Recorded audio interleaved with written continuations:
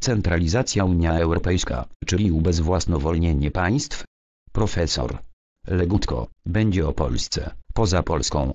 Europoseł Ryszard Legutko, Unia pokazuje swoją monstrualną twarz, postępuje centralizacja, przy braku reguł.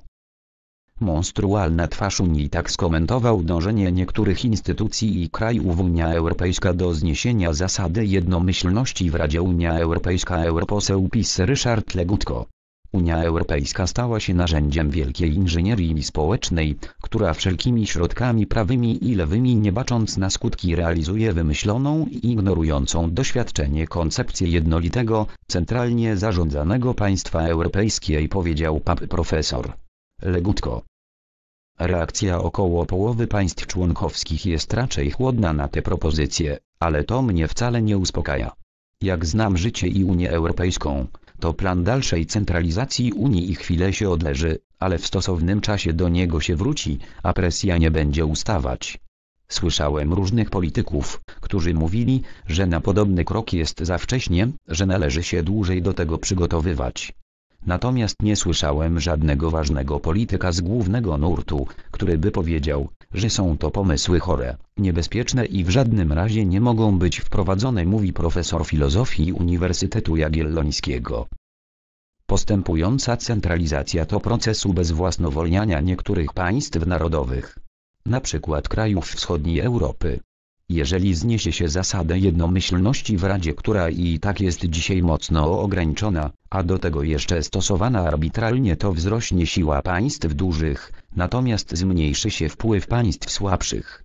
Powstanie coś w rodzaju oligarchii unijnej, gdzie takie kraje jak Niemcy czy Francja będą miały zagwarantowaną władzę nieograniczoną. Natomiast takie kraje jak Polska stracą możliwość decydowania o sobie. Wszystkie decyzje będą zapadały poza Polską. Ponad 30 lat po odzyskaniu niepodległości, tę niepodległość znowu stracimy. To będzie finis Polonia ostrzega.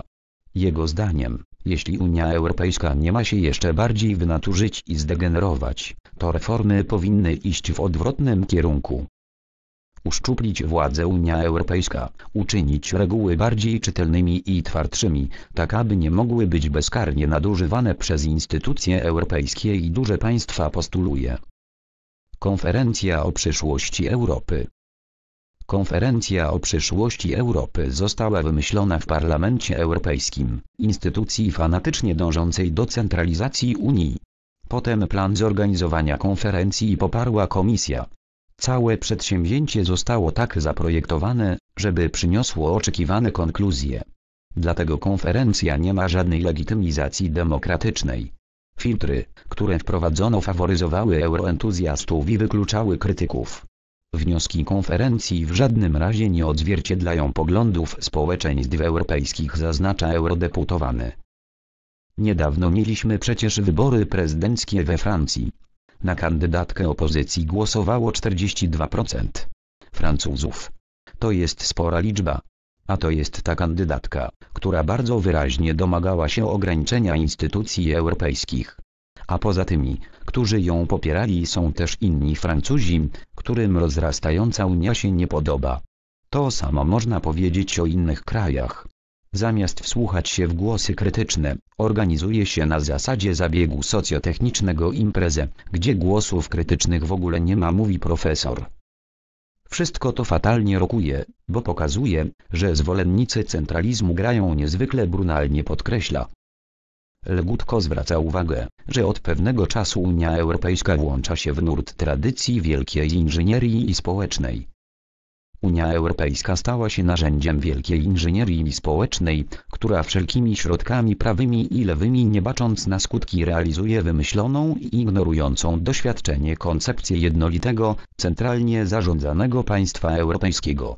Jak zwykle w takich przypadkach, zwalcza się opornych w przekonaniu, że w przyszłości gdy ów system zostanie zrealizowany, powstanie nowy wspaniały świat, a to usprawiedliwia dzisiaj stosowanie wątpliwych środków. Teraz wprawdzie skutki są marne, na przykład przy przeprowadzaniu zielonej rewolucji, ale to nic, bo czeka nas świetlana przyszłość mówi eurodeputowany. Według profesora Unii nieobca jest też tradycja leninowska. Lenin był oportunistą rewolucyjnym, w tym znaczeniu, że za nic miał reguły i bezwzględnie korzystał z okoliczności dla osiągania celów. Podobnie Unia Europejska, identyfikując kryzysa w kryzysy popada nieustannie nie szuka sposobów, by je rozwiązać, lecz przede wszystkim wykorzystuje je, również te, które sama tworzy, do poszerzania zakresu swojej władzy. Tak było w przypadku kryzysu emigracyjnego choć tutaj, na szczęście, jej się nie udało, a później COVID-u i planów odbudowy. Teraz mamy wojnę na Ukrainie, więc Bruksela znów robi skok naprzód, żeby zwiększyć władztwo wylicza Ryszard Legutko. Świat bez reguł. Legutko dodaje, że Unia stworzyła świat, gdzie nie ma reguł na których można się oprzeć, nie ma granic uznanych za nieprzekraczalne.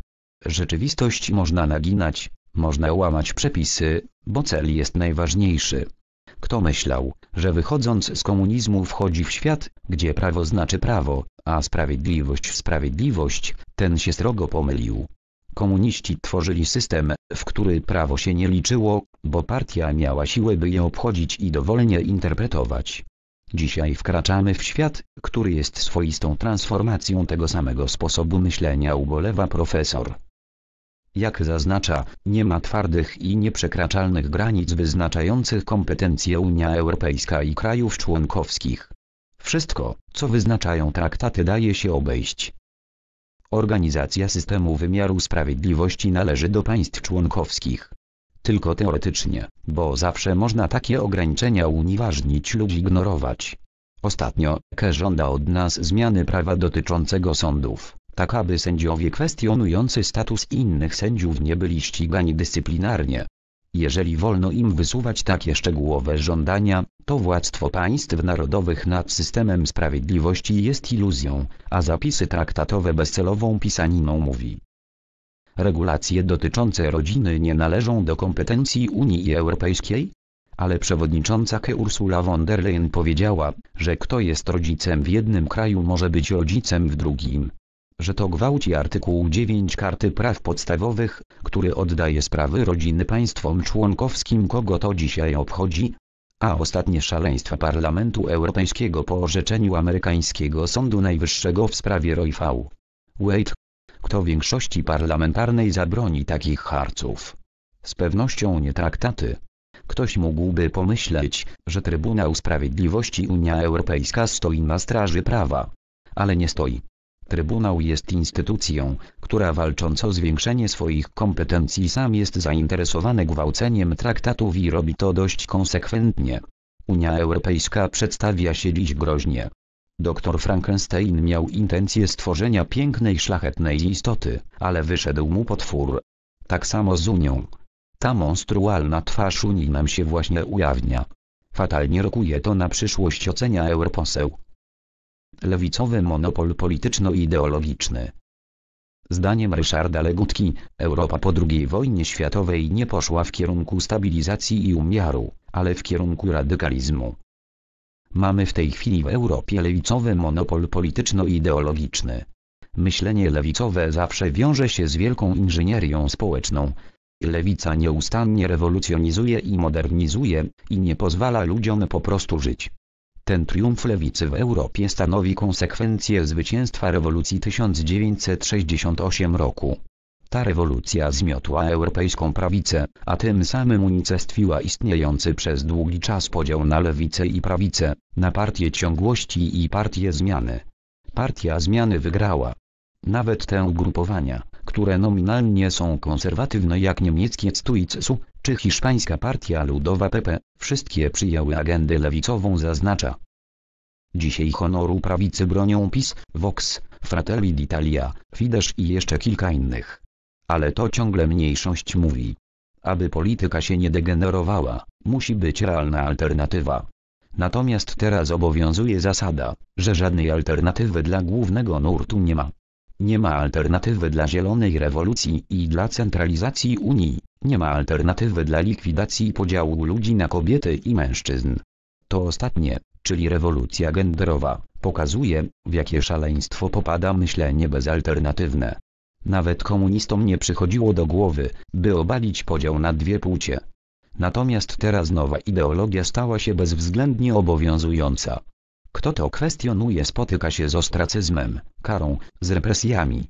Dotyczy to zarówno jednostek, jak i społeczności, czy nawet państw. Nie dopuszcza się żadnej dyskusji na ten temat. Jest jedno stanowisko, nie ma alternatywy.